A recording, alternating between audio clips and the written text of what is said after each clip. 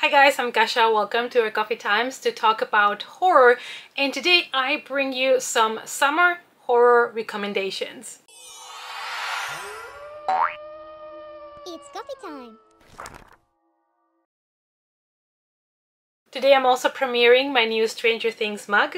I think this is my third Stranger Things themed mug. um, I saw it, I could not resist it, I had to get it, so this is the new addition to the mug collection. So summer is here in a lot of countries. The Netherlands, it's hard to tell it's summer because it keeps raining, it gets very cloudy, it's very fresh and I'm kind of missing the heat and the summer this year but it is what it is. However, I'm here to give you some summer horror themed recommendations. Today I'm gonna give you five horror books and five horror movie recommendations, so sit tight and let's go. We are more than halfway to Halloween, which is arguably the best season, the best time of the year, specifically also for horror, but not only fall and winter are great times for horror, summer also give us many many good opportunities to have some horror stories. You can read horror stories in the hot summer nights,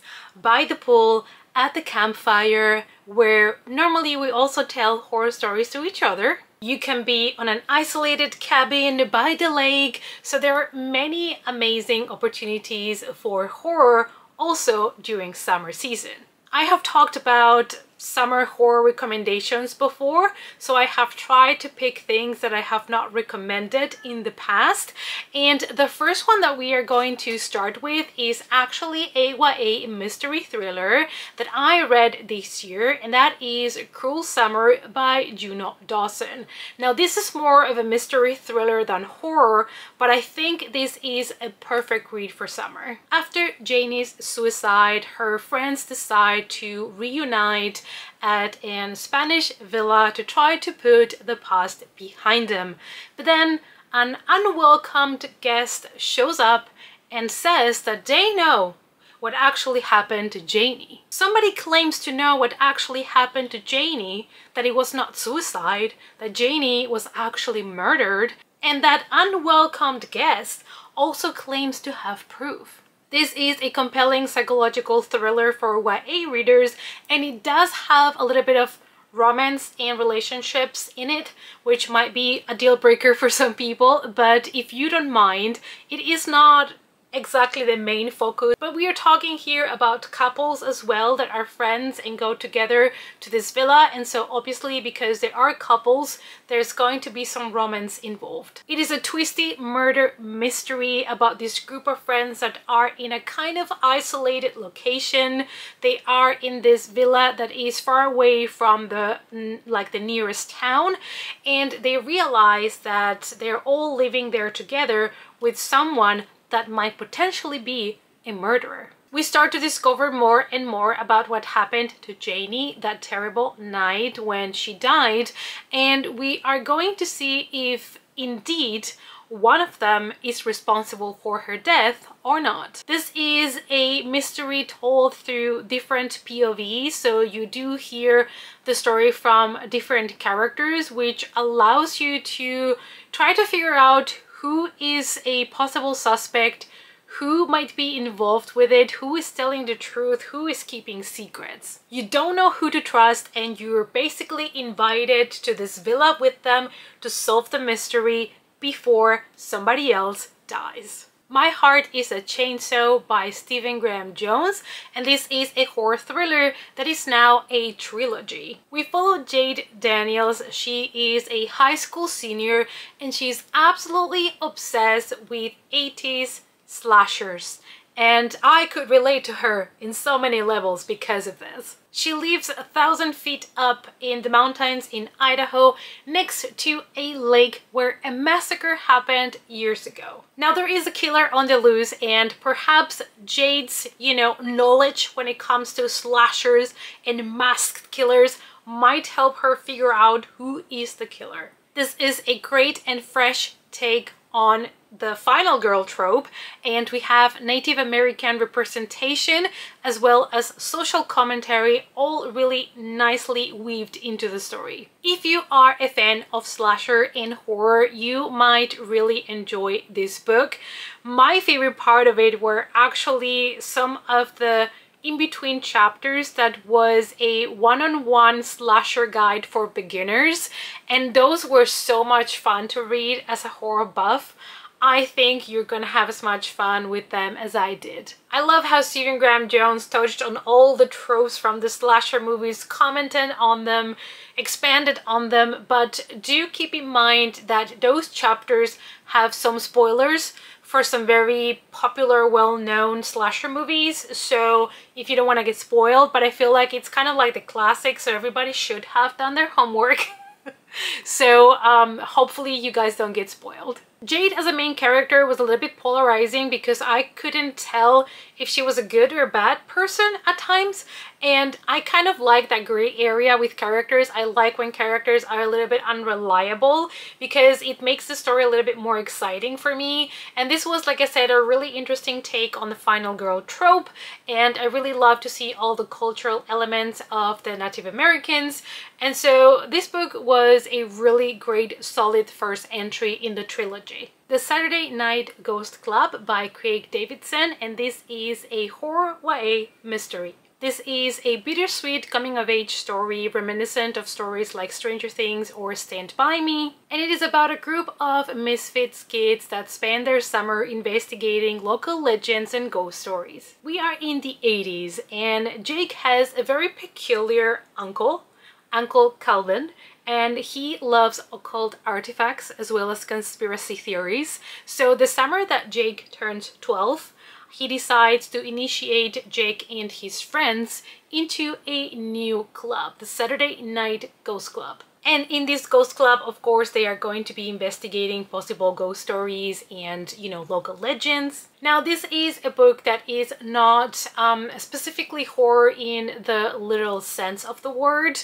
um, but I think if you love dark coming-of-age stories with a little bit of horror atmosphere added to it, you're really going to be able to appreciate it. It is a reflection of family, of growing up, of loss, of all the things that makes up you know, that, that makes us go from like teenagers to adults, sometimes perhaps a little bit ahead of time. And even though it does have some classic elements of a horror story, keep in mind it might not be the main focus of the book. The Willows, Algernon, Blackwood, and this is a horror novella. This is an old one so I don't know if everybody is familiar with it but I thought because it was also short it might be something that you might want to add to your summer TBR. Two friends are in the middle of a canoe trip down a river and the author uses nature and natural elements to create a sense of dread, a sense of fear and it might work really great for people that have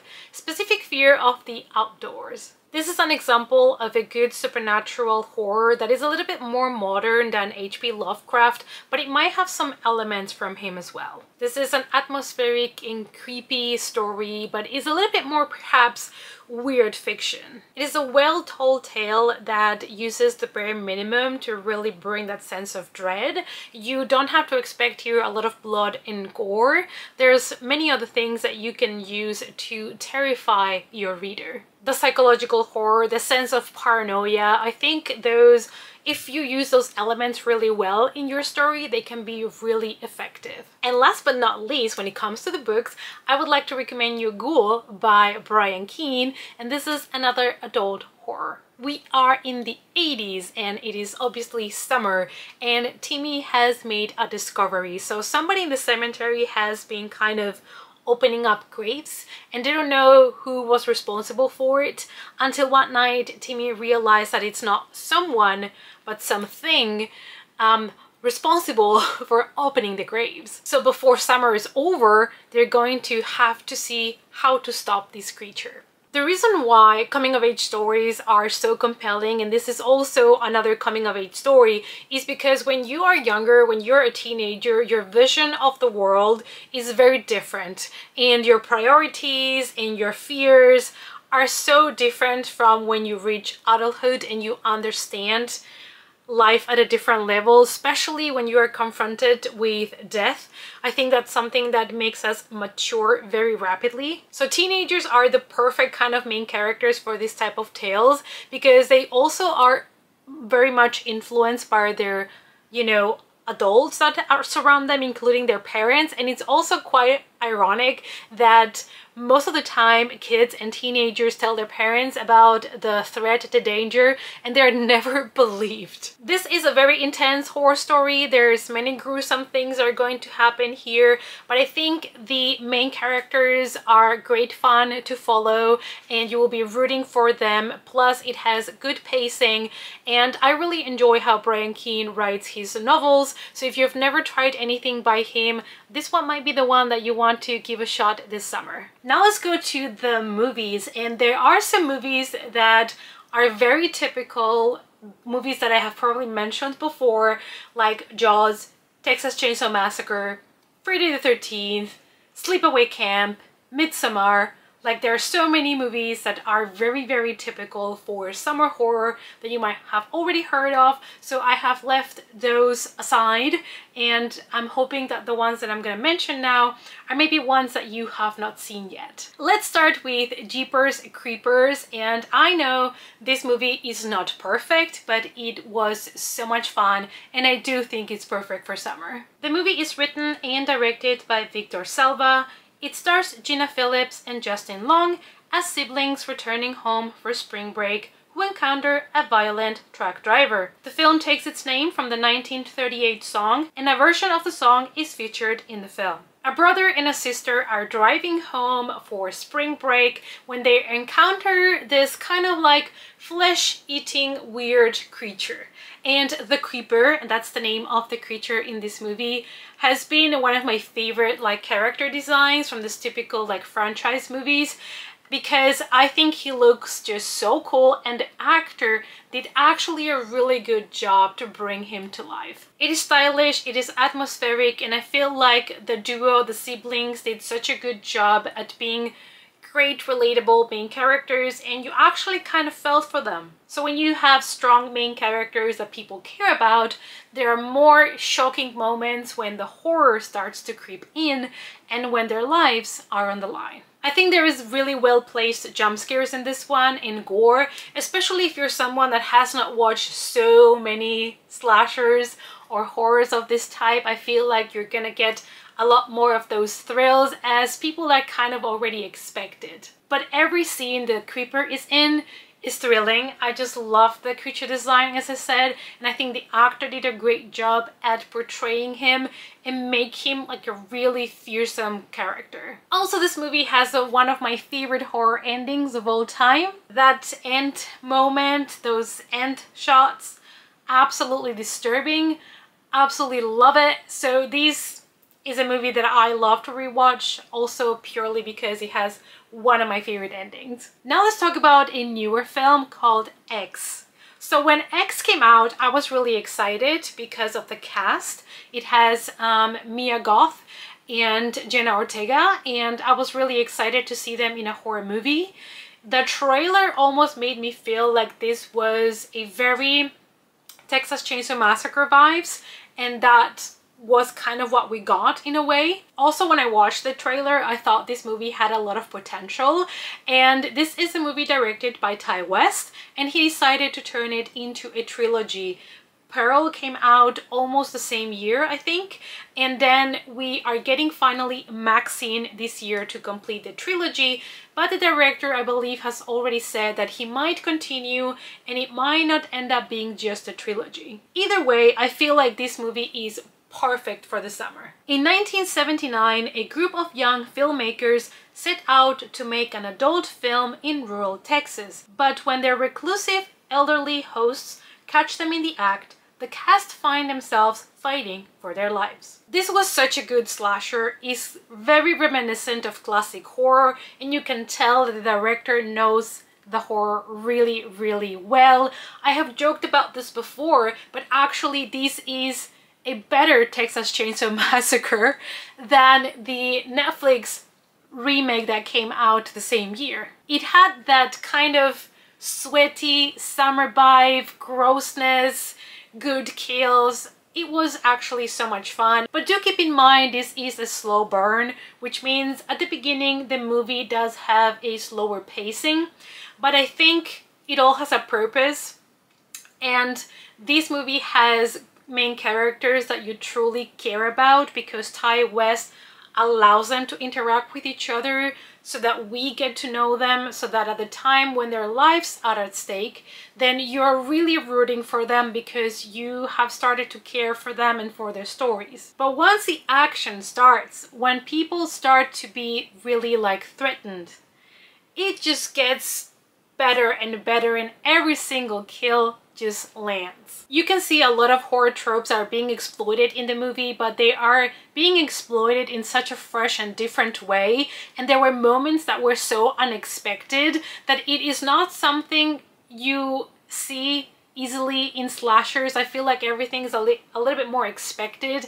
And here there were some moments and some kills where I was like caught off guard. I love the ending and even though it was a slower burn, I feel like the kills that you get are so satisfying, but this is kind of like a weird, disturbing movie, so at times it might make you feel a little bit uncomfortable, and I know it's also not a movie for everybody, but give it a chance if you haven't, because these became one of my favorites in 2022. 47 meters down and I wanted to include this one because to be honest with you guys I am not the biggest creature horror fan and I'm also not the biggest shark movie fan.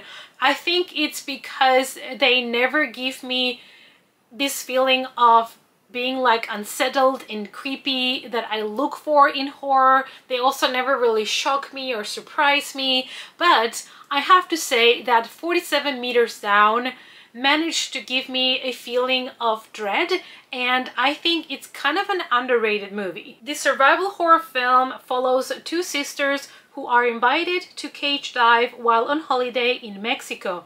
When the winch system holding the cage breaks and the cage plummets to the ocean floor with the two girls trapped inside, they must find a way to escape with their air supplies running low and great white sharks stalking nearby. This movie is not trying to reinvent the subgenre of horror, it's not trying to go all out with it, and I think that's what made me really appreciate this movie is just a claustrophobic simple movie about a girl trapped underwater and having the threat of the sharks, having the threat of time against you because you have very limited air. And I've said this before, I am horrified of dying by drowning. I think it's probably one of the worst experiences you can have. Um, I don't know, I just find it horrifying and I think a lot of people share that as well with me. I would not love to be trapped anywhere underwater at all. I would never go in underwater caves or whatever, like no thank you. So when I find movies that have people trapped underwater and they keep that tension coming from someone that is trying to survive in such a situation, I think it really gets to me and I think the tension in this movie was really well achieved. I really also enjoy the underwater photography and like I said, this is a simple premise. It's also not trying to change the genre, but it does what it has to do and very well. The acting is good, so it's definitely one of those movies that I think is a little bit underrated. It's a solid summer thriller and if you guys have not checked it out yet, do so. There is a second movie that came out, I think it was called um, 40 Meters Down Uncaged, and that one was a little bit more, they took it up a notch, so it was a little bit more over the top, so it was a little bit less intense for me, but I also really enjoyed that one. Summer of 84. So this is a teen horror film that I have recommended before in my other channel uh, where I just talked about movies. And this is a movie again that I feel like it's very underrated. I don't feel like many people know about this, but I think it deserves a watch. When a group of friends suspect that their neighbor, a police officer, is up to something sinister, they decide to investigate the matter. However, they are met with dangerous consequences. The young cast gives really believable good performances and I really love the mystery of this very small budget movie that manages to keep the tension going and it gets to show you that you don't need famous actors or a big budget to create intense good horror thriller. You have kids in the 80s with their bicycles, it's summer, they're looking for something to do, and you know, it's the typical like trope in a lot of thrillers where you see the neighbors doing something that might look suspicious and then you decide to investigate, especially when you are a kid.